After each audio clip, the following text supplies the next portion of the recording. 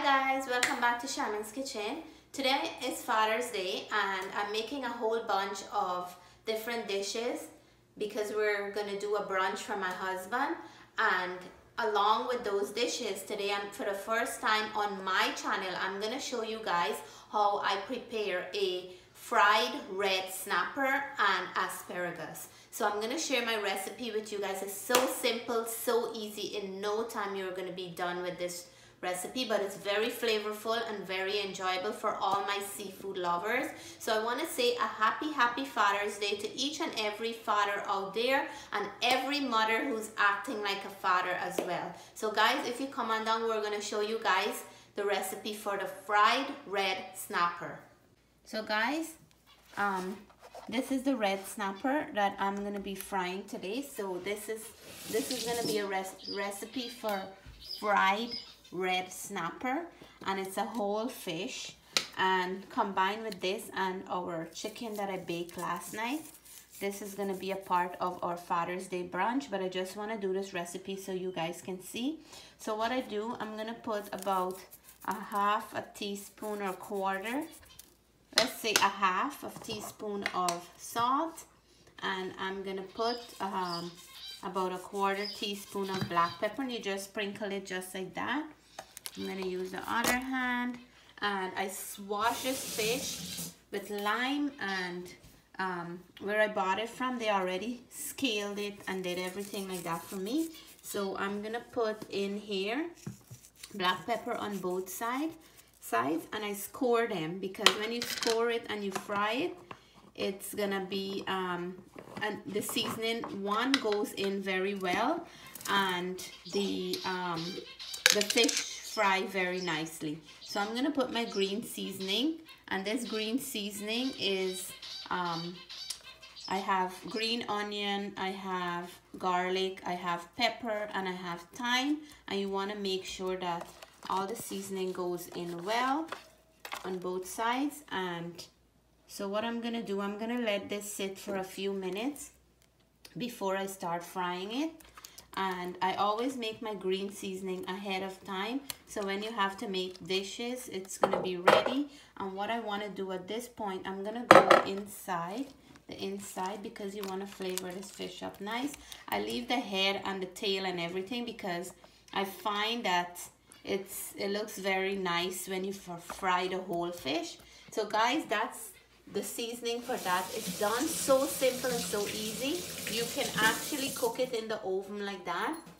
But because I already did a chicken roasted chicken I'm gonna just fry this one. So we have combination of both. So look how beautiful that look. I'm gonna let it sit for just a few minutes maybe a 10 15 minutes. And then I'm gonna fry it and show you guys how beautiful beautiful this looks after it's done Guys, this is the fish well marinated over 15 minutes. So what I'm gonna do, I'm gonna dust it a little bit with some flour, not too much, just a little tiny bit. So it's not gonna stick to the pan. And you don't want to put too much because then the whole oil is gonna get so messy with the flour. So lightly, lightly, I'm gonna dust this and then I'm still getting used to doing the outdoors. Now I'm just so enjoying it. So I'm gonna take this whole fish just like that. And then I'm gonna put it in my oil. So just let's go over to the stove. Come don't come too close okay? You come on this side. So I'm gonna put it in here just like that. And we're gonna fry the whole thing. Um, so yeah so we're gonna fry this whole fish until it's brown up on one side and then I'll flip it over to brown on the other side and then it's going to be all done. I'm so excited guys. Guys, we're going to flip it about 3 minutes on that side and we want it to be nice and golden brown. Wow! Look at that, yes. So that is how we want it. So we're going to leave it for another 3 minutes on this side and then it's going to be all good to go. Just going to check to see if it's brown and it is done. I'm just gonna keep the inside. It needs to cook a little bit more. So I'm gonna leave it for a few more minutes and then we'll take this down. That's all that it is. It's just simple easy cooking. So done. I'm gonna take it off and I'll show you guys the next step.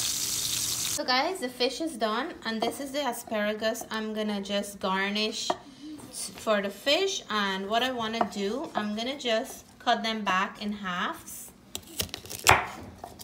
and I'm just gonna do the same. I already break the tips off. I wash them in vinegar water. So I'm now gonna saute them with some butter and some garlic. So I have the garlic here. Uh, once I put them in the pan, I'm gonna grate the garlic on top of it and then I will show you guys the next step. So guys, I have the butter. I have about one um, teaspoon of butter into the pan.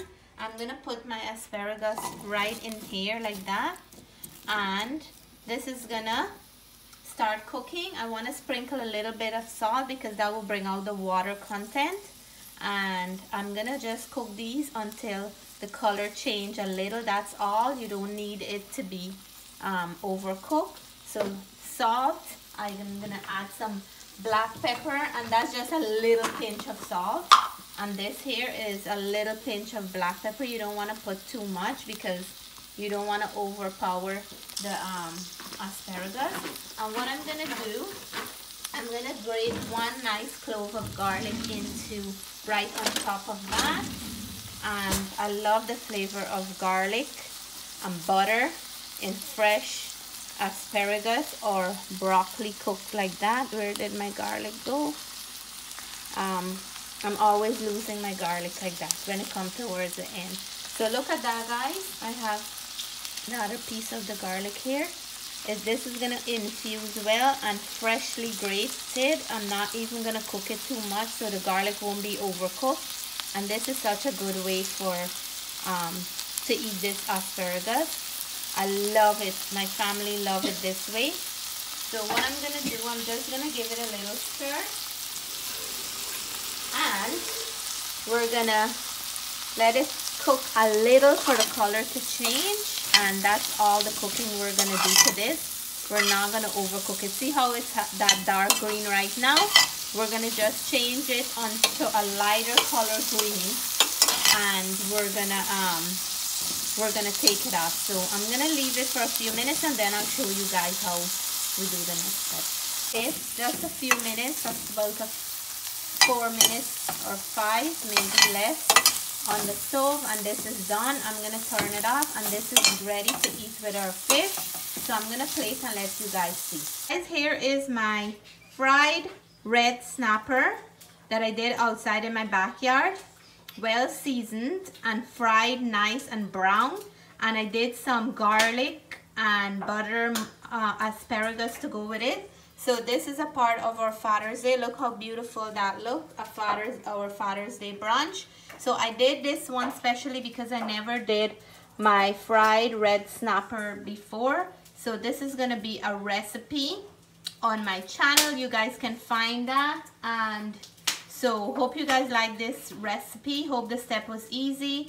Again, happy Father's Day to each and every one of the fathers. Please subscribe to my video if you haven't done so to my channel you only have to subscribe to one video please give me a, a thumbs up if you like this video and until then I'll catch you later bye for now